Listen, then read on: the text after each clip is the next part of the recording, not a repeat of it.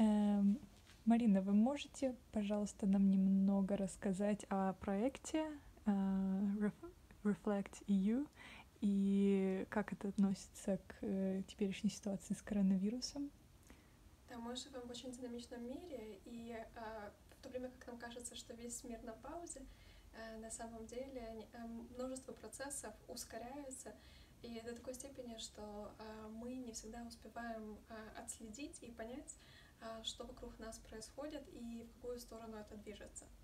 Э, с этой инициативой,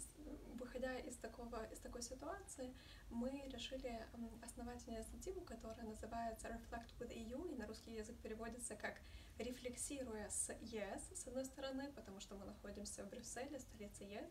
а с другой стороны, рефлексируя с электронными вами, с электронным тобой. Почему? Потому что во время коронавируса наши возможности встречаться в больших аудиториях достаточно ограничены, потому мы вынуждены э,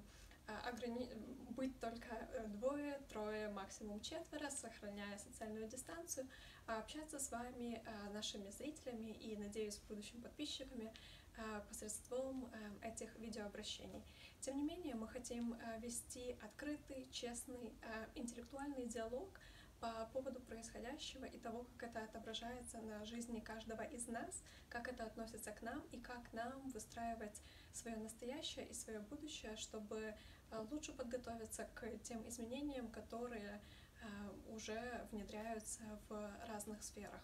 начиная от политической, экономической, социальной э, сферы охраны здоровья, а также диджитализации или технологизации.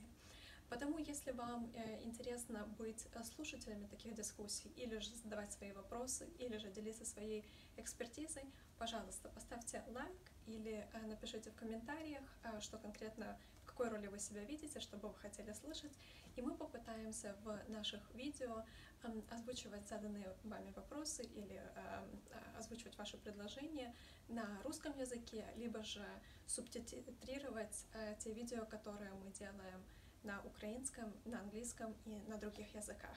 Спасибо большое э, за внимание, и мы надеемся, что э, только начало, и э, мы начнем с вами э, общаться, дружить, и будем вместе с вами э, единомышленниками. Спасибо.